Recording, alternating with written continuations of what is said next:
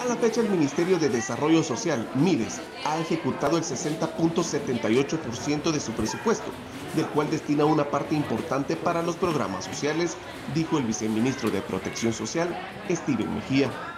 Mejía informó que la ejecución presupuestaria de la cartera se divide en tres unidades. La 202, que es el Viceministerio de Protección Social, donde manejamos los programas sociales, llevamos un 73% de ejecución y el Fondo de Desarrollo Social está cerrando al día de hoy con un 36% de su ejecución. Los programas sociales en donde estamos eh, siendo enfocados, tenemos el programa Mi Comedor Social. Eh, actualmente tenemos 29 comedores con una inversión de 74 millones de quetzales.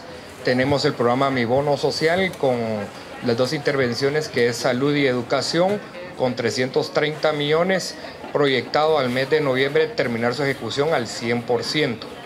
Eh, digamos que esas son las dos eh, ramas más importantes de los programas sociales.